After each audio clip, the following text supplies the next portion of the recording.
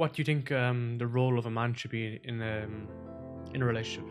Leadership is important, and the reason why leadership is important is because if he doesn't lead, she already has to lead when it comes to kids and all these other things. Women are already overburdened in the dynamic of a relationship, but the reality is, women are physically more burdened by marriage and kids. Every time they're thinking the baby's crying, the baby's hungry, there's this, that, and the other. So the emotional exhaustion in a woman is so draining.